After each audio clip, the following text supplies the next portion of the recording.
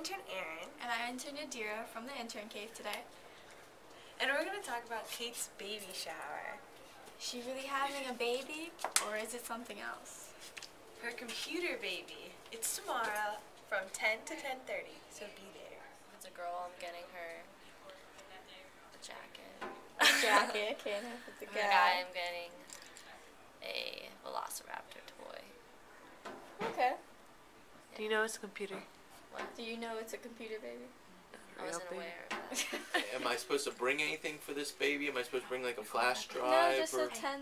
Yeah, supposed to bring a flash drive. As much as Mm. basic.